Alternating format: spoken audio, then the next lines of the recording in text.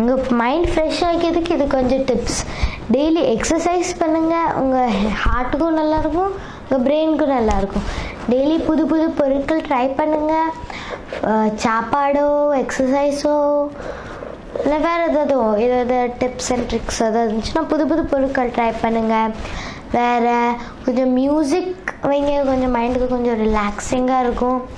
வேறு நல்லா தூங்கியிருந்தீங்க. கொஞ்சம் உங்கள் மைண்டுக்கும் ஃப்ரெஷ்ஷாக இருக்கும்.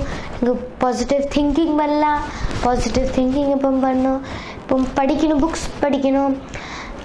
டிவி டைம் கம்மி பண்ணணும். அது கொஞ்சம் ஹர்ட்டாக இருக்கும் ஐஸ்க்கு வேறு TV time brain puzzle games ஏதாவது இருந்துச்சுன்னா அதுக்கு விளையாடுங்க. கொஞ்சம் மைண்டுக்கு நல்லா சூப்பராக இருக்கும்.